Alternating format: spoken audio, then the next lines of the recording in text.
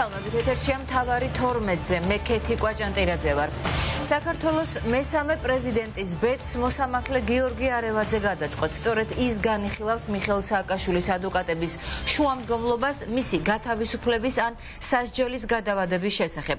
გიორგი არევაძე არაერთ პოლიტიკურ საქმეში ფიგურირებს მათ შორის საუბარია ეგრეთ წოდებული შეწყალების საქმეზე როცა მან სააკაშვილს გამამტყუნებელი განაჩენი ერთხელ უკვე გამოუტანა და სამი წლით პატიმრობა შეუფარდა. გიორგი არევაძე იყო ნიკა გვარამიას საქმის მოსამართლეც თუმცა ადვოკატებმა მისი აცილება მოითხოვეს, რაც დაკმაყოფილდა. როდის დაინიშნება პროცესი, სადაც არევაძემ უნდა გადაწყვიტოს, მისცემს თუ არა მესამე პრეზიდენტს საზღვარგარეთ მკურნალობის შესაძლებლობას, თარიღი ჯერ უცნობია. მანამდე კი რამდენიმე საათში კლინიკა ვივა მედში ტოქსიკოლოგები უნდა მივიდნენ. ამჯერად კვლევის ჩატარების განკარგულება სპეციალურმა საგამოძიებო სამსახურმა გასცა. ზურა პეტროსიანი მუშაობს თემაზე და მეტ ინფორმაციას მისგან გავიგებთ გისმენთ ზურა. კი კეთი, სულ ცოტა ხნის წინ გახდა მიხელ სააკაშვილის ადვოკატებისთვის ცნობილი, რომ სააკაშვილის საქმის განხილველი მოსამართლე იქნება გიორგი არევაძე და ახლა ცდილობს შალვა ხაჭაპურიძე რომ გაარკვიოს როგორ დაეწერა საქმე, სწორედ იმ მოსამართლეს, რომელიც მანამდეც განიხილავდა მიხელ სააკაშვილის საქმეს, ვინაიდან სწორედ გიორგი არევაძე არის ის, ვინც სამი წლის პატიმრობა შეუფარდა საქართველოს მესამე პრეზიდენტს ეგრეთ წოდებული შეწყალების საქმეზე. გარდა ამისა, არევაძე ფიგურირებს ბევრ პოლიტიკურ საქმეებში, რომლებიც ბოლო წლებში განსაკუთრებით გააქტიურდა ჩვენს ქვეყანაში, მათ შორის ეს მოსამართლე არის საქმის განხილველი ხაზარა ჯაფარიძე წერეთლის საქმეზე და ასევე ნიკა გვარამიას საქმეზეც, თუმცა მას შემდეგ რაც ადვოკატებმა მოითხოვეს მისი ნაცილება და დააყენეს ეს შრომდგომლობა, მან ეს შრომდგომლობა დააკმაყოფილა. სწორედ ახლა გიორგი არევაძემ უნდა გადაწყვიტოს საქართველოს მესამე პრეზიდენტის ბედი, ვინაიდან მთავარი და ბოლო საქმე, რომელიც მან უნდა განიხილოს, არის სწორედ სააკაშვილისთვის საჟელის გადავადების ან შეწყალების შესაძლებლობა და გათავისუფლება უკაცრავად და როგორ რა მოხდება ამის შემდეგ, ეს იქნება ცნობილი ჯერჯერობით ვადები ჩვენთვის არის დაუზუსტებელი, თუმცა როგორც პრაქტიკა აჩვენებს, შესაძლოა რომ სასამართლოს ხდომები 15-20 დღის განმავლობაში ჩაინიშნოს და ამის შემდეგ საბოლოო გადაწყვეტილება იქნება მიღებული. საქმე დაეწერა მოსამართლე გიორგი არევაძეს, იცნობთ ამ მოსამართლეს. რაც შეეხება ვადებს დაახლოებით ავიღოთ ესე 3-4 დღიდან 15 დღის ვადაში ხდება მასალების გამოთხოვა საჟელასულების დეპარტამენტიდან. დაველოდოთ, ეხლა დღეს მე მექნება განცხადებები მას კანცელარიაში რამდენიმე რაღაც მასალებს ვითხოვთ და ასე შემდგომ კოდექსში წერია ეგ საქმე უნდა განიხილოს იმ პირობებში, იმ განაჩენის გამოტანა სასამართლომ, რომელმაც იმჟელა. შესაბამისად, ნუ როგორც ჩანს, ამ პრინციპით მოხდა ბატონ გიორგი არევოძესთან დღეს აკაშვილთან აპირებენ შევიდნენ სპეციალურ საგამოძიებო სამსახურის წარმომადგენლები გადაწყვეტეს იმ საქმის ფარგლებში რომელიც აღძრული იყო. მიიღეს გადაწყვეტილება გუშინ მაცნობეს რომ ჩაუტარდეს ტოქსიკოლოგიური ექსპერტიზა როგორც მოისმინეთ, ზუსტად რამდენიმე საათში უკვე კლინიკა ვიბამეთში მივლენ ტოქსიკოლოგები. ამ შემთხვევაში ეს კვლევა არის ჩანიშნული უკვე სპეციალური საგამოძიებო სამსახურის მიერ. მანამდე უნდა ვთქვათ, რომ შესაბამისი განკარგულება ამ კვლევის ჩატარებაზე იყო 8 თვის წინ გაცემული, თუმცა რატომღაც ახლა გადაწყვიტა კოკაკაცდაზის უწყებამ, რომ ჩაატაროს ეს ტოქსიკოლოგიური კვლევა, როგორც თავად უწყებაში განმარტეს ამ ამის შესაძლებლობა მას მათ შემდეგ მიეცათ და თავიდან ამიტომ მოიდოვეს კვლევის ჩატარება, რომ მოისმინეს მარიამ ჯიშკარიანის განცხადებები და გაეცნეს იმ დასკვნას ქვეყნას, რომელიც გუშინ გასაჯაროვდა და შესაბამისად ახლა ისინი თვლიან საჭიროთ, რომ ხელახლა ჩატარდეს შესაბამისი სამედიცინო გამოკვლევები. მადლობა ზურა, ეს ზურა პეტროსიანი იყო. ოპოზიციას იმედი აქვს, რომ მოსამართლე გაითვალისწინებს ქართული და უცხოელი ექიმების დასკვნას და მიიღებს შესაბამის გადაწყვეტილებას. პოლიტიკური პარტიების წარმომადგენლები არ გამორიცხავენ, რომ სწორედ ექიმებს და მოსამართლეებს დააკისროს პასუხისმგებლობა ხელისუფლება.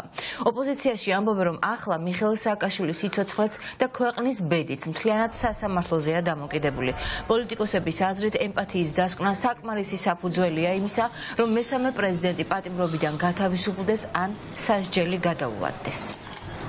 ჩამოთვლილია მისი ამონტყოფობები, მისი მდგომარეობა, დასაბუთება არის მოყვანილი რატომ უნდა მოხდეს, განხორციელდეს გამოყენებული იქნეს შესაბამისად ეს მუხლები და მოყვანილია მოწმები, უნდა დაიკითხონ ესენი არიან ექიმები, ექსპერტები, განაწილების პრინციპით, კომპიუტერული პრინციპი არის მაგ განაწილების სათანადო კანონი არეგულირებს და ამის განაწილება გვეცოდინება ვინ იქნება მოსამართლე. ვფიქრობთ, რომ საჟელის გადავადება უნდა მოხდეს სხვა სხვა პოზიცია მაქვს წარმოუდგენელი არის. ნუ ჩათვალეთ მაშინ სასიკვდილო განაჩენი გამოგთ ამ ადამიანისთვის.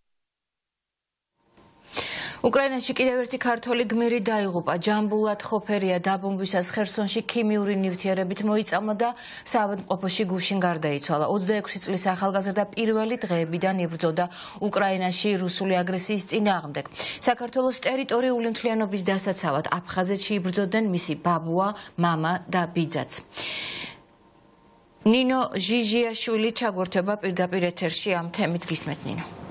კეთი უკრაინაში გმირულად დაღუპული 22 ქართველი ჯამბულად ხოფერია, როგორც მისი თანამებრძოლები იხსენებენ, ის ხერსონთან ის ერთ-ერთი დაბომბვისას მოიწამლა მომწამლელი ნივთიერებით და ამის შემდეგ მან გაიარა მკურნალობის კურსით, თუმცა როგორც აღმოჩნდა ეს უშედეგო იყო ეს კურსი, რადგან ის გუშინ მოულოდნელად, როცა უკვე აღარავინ აღარელოდა, ისე დაიღუპა. ჯამბულად ხოფერია იყო 27 წლის და მისი თანამებრძოლები ყვებიან, რომ მისი მთავარი мотиваცია უკრაინის ომში იყო საქართველოს დაცვა და საერთო მტრის წინააღმდეგ ბრძოლა, რადგან ეს მომდინარეობდა მისი ოჯახის ისტორიიდან. ჯამბულათის მამა იბრძოდა აფხაზეთის ომში საქართველოს დასაცავად და ტერიტორიული მთლიანობისთვის, მისი ბიძა კი ამ ომს შეეწირა. ჯამბულათი, როგორც ასევე მისი თანამებრძოლები ყვებიან, უკრაინის ომში ჩაება პირველივე დღეებიდან ომის დაწყების თებერვლიდან და ის იბრძოდა არაერთ ხელწერტილში, მაგალითად ირპენში, ხოლო ომის დაწყებამდე ჯამბულათი იყო წარმატებული სპორტსმენი, ის იყო ძალოსანი. ჯავო გავიცანი მარტის თვეში, მარტში ჩავედი მე უკრაინაში, მაგრამ ის იყო იქ იყო ჩასული. აბსოლუტურად თითქმის ყველა ცხელწარფიში მიიღო მონაწილეობა ბრძოლაში. ირპენი ჰქონდა გამოვლილი ირპენში კონაფრული. და როგორც გითხარით, მთელი 8 თვის განმავლობაში ერთად ვიყავით, ეს იყო უსაყვარლესი ადამიანი. ეს იყო ადამიანის სიყვარული და არ ვიცი, როგორც კი საბრძოლო მოქმედებები დაიწყო მომენტალურად ჩავიდა კიევში და მთელი ეს პერიოდი იქ იყო რა და მისთვის უკრაინისთვის ბრძოლა ეს იყო საქართველოსთვის ბრძოლა და ძალიან მიჭირს აი ძალიან მიჭირს ამ ადამიანზე წარსულში საუბარი რომ ჩემთვის უზმესი ტკივილი რა. თუ რამდენიმე დღის წინ იყო ჩამოსული და ჩემთვის ვერ პატიო ვერ შევძელი მისი ნაპატი ჯაბას დაღუპვის მიზეზი არის ქიმიური მოწამვლა. ის იყო მოწამლული პურნალობდა კარგად იყო გაწერეს მაგრამ იმდენად საშინელება და ეს ძიმე ქიმიურ იარაღს მარობს ორკი რომ აი უცებ უცებ დაიღუპა რომელიც არ უნდა მოხდარიყო არავინ არ ელოდა ამას. დამამახსოვრდება ძალიან ძალიან ბუნდერაზი ადამიანი.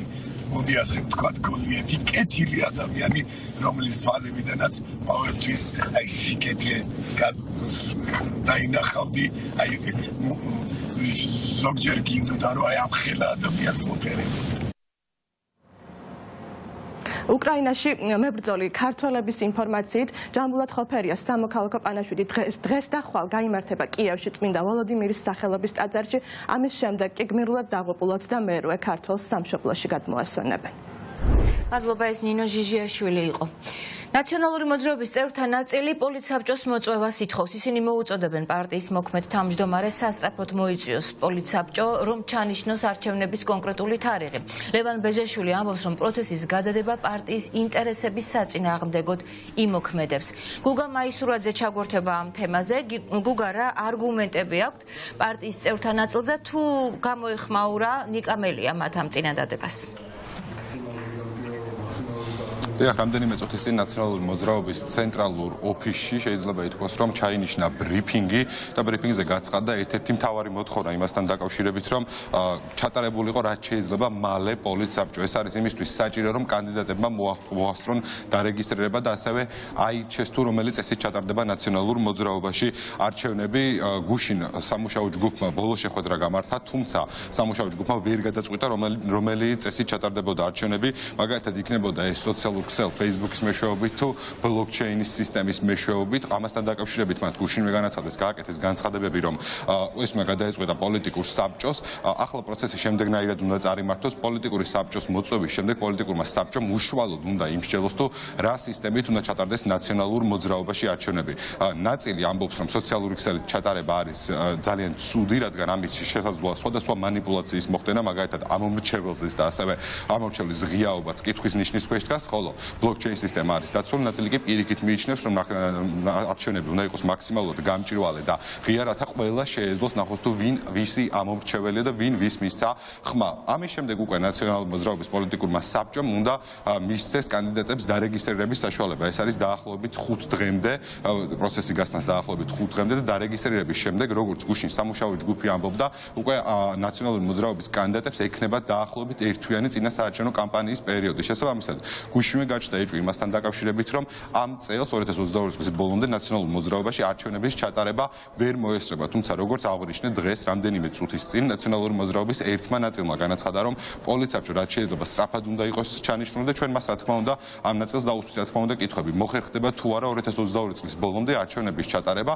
ეს ნაწილი ნაციონალური მოძრაობის ალაპარაკდა იმასთან დაკავშირებით, რომ მაგალითად შემცირდეს წინა კამპანიის დროს სამ კვირამდე, ამით თვის ბოლომდე შესაძლებელია მოესწროს ნაციონალურ მოძრაობაში თავმჯდომარის არჩევნების ჩატარება.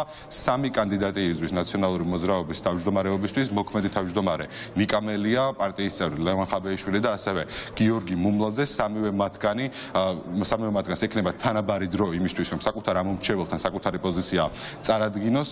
შეიძლება ითქვას, რომ აქამდე ლაპარაკი იყო იმასთან დაკავშირებით, ასევე რომ ნაციონალურ მოძრაობაში მაგალითად აღარ ჩატარებულიყო არჩევნები, თქვენ მოგეხსენებათ, რომ მიხელ სააკაშვილი არის ძალიან მძიმე მდგომარეობაში და ამაზე პარტიაში საუბარი ჯერ კიდევ დაიწყო გუშინ წინ. ამასთან დაკავშირებით ჩვენ კითხვები გუშინაც ჰქონდა და ამ დღეების განმავლობაში სულ კითხავს რა იქნება იმ შემთხვევაში თუ ნაციონალურ მოძრაობაში არჩევნები არ ჩატარდება. აქაც ამასთან დაკავშირებითაც მთავარ ოპოზიციურ პარტიაში აზრი იყოფა ორად. ნაწილი თვლის, რომ რაც შეიძლება სწრაფად უნდა ჩატარდეს არჩევნები, ნაწილი კი თვლის, რომ ნაწილი კი თვლის, რომ არჩევნები უნდა გადაიდოს, რადგან ახლა პრიორიტეტული არის მიხეილ სააკაშვილის ჯანმრთელობის მდგომარეობა. შესაბამისად, როგორ განვითარდება მოვლენები ნაციონალურ მოძრაობაში, ეს ყველაფერი უნდა გადაწყვეტოს პოლიტიკურმა საბჭომ. ერთიანი ნაციონალური მოძრაობის ახალი თავმჯდომარის არჩევნების პროცესთან დაკავშირებით რაიმე კულისებზე, კულუარულ გავლენებზე, სახელების და გვარების დასახელებაზე საუბარი არ უნდა იყოს, იმიტომ რომ ეს არ შეუწყობს ხელს ჯანსახ საარჩევნო პროცესს. არჩევნების პროცესმა უნდა გაერთიანოს პარტია, უნდა მისცეს ახალი ლეგიტიმაცია ახალ თავმჯდომარეს იმ ახალი გამოწვევების წინაშე, რომელიც რომელიც არის ქვეყნის და პარტიის წინაშე. ამიტომ ვფიქრობ, რომ ასეთი განცხადებები არ უწყობს ხელს გამჭვირვალე ღია და სამართლიანი საარჩევნო პროცესს. ჯერჯერობით აღნიშნულ პროცესს პარტიის თავმჯდომარე ნიკა მელია არ გამოხმაურებია, რომელმაც უნდა მოიწვიოს პოლიტიკური საბჭო, შესაბამისად უცნობია, როდის ჩატარდება პოლიტ საბჭოს კრება. ჩვენი ინფორმაციით ეს შესაძლებელია მოხდეს ორ შაბათს, თუმცა დაველოდოთ მოვლენების განვითარებას, ჩავარავდოთ დღის განმავლობაში ნიკა მელია ამასთან დაკავშირებით კომენტარს გააკეთებს. მადლობა გუგა, ეს გუგა მაისურაძე იყო. ჯო ბაიდენის განცხადებით მას პუტინთან დაკავშირებით გეგმა არ აქვს, თუმცა მზად არის ესაუბროს თუ კრემლი დაინტერესებულია უკრაინაში ომის დასრულებით. შეერთებული შტატების პრეზიდენტის თქმით, პუტინთან მოლაპარაკებებს ის მხოლოდ ნატოს მოკავშირეებთან კონსულტაციით გამართავს. განცხადება ბაიდენმა ფრანკ კოლეგასთან შეხვედრის შემდეგ გააკეთა. ამბობს, რომ უკრაინის ომის დასრულება შესაძლებელია მხოლოდ იმ შემთხვევაში, თუ პუტინი ქვეყნის ტერიტორიიდან ჯარებს გაიყვანს. ბატონ პუტინთან დაკავშირების გეგმა არ მაქვს, მაგრამ მზად ვარ მას ვესაუბრო. თუ ის რეალურადაა დაინტერესებული ომის დასრულების გზის გამოძებნით, მას ეს ჯერ არ გაუკეთებია. ეს ომი შეიძლება დასრულდეს ერთი რაციონალური გზით. თუ პუტინი გაიყვანს ჯარებს უკრაინიდან, როგორც ჩანს ის ამას არ აპირებს. ის ძალიან მძიმე ფასი ხდის ამისთვის. საქართველოს საგარეო საქმეთა სამინისტრო დუმს ამ დრომდე დიპლომატიურ უწყებას არანაირი რეაგირება არ მოუხდენია აფხაზეთში რუსეთის სახელმწიფო დუმის სპიკერის ვიზიტზე. ვიაჩესლავ ვოლოდინი უკვე მეორე დღეა სოხუმში იმყოფება, მას ოკუპირებული აფხაზეთის დე-ფაქტო პრეზიდენტი ასლან ბჟანია შეხვდა.